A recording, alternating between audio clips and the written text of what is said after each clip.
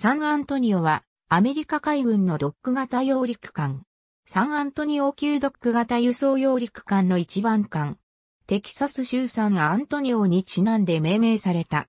サンアントニオの建造契約は、ルイジアナ州ニューオーリンズのノースロップグラマンシップ、システム社に1996年12月17日に発注され、2000年12月9日に寄港した。2003年7月12日に浸水し7月19日に命名式が行われた。サンアントニオは2005年10月に収益が予定されていたが、ニューオーリンズに甚大な被害をもたらしたハリケーンカトリーナによって延期された。艦は結局2006年1月14日にテキサス州イングルサイドで収益した。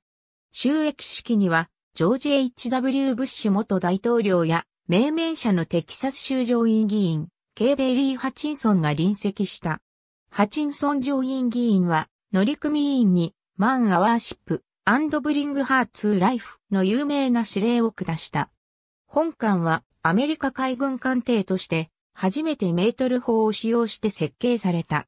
また、本艦は、乗員の頭上スペースの増加、エアコンの設置や、ラップトップコンピューター用の棚を設置するなど、生活環境が改善された最初の巻である。ありがとうございます。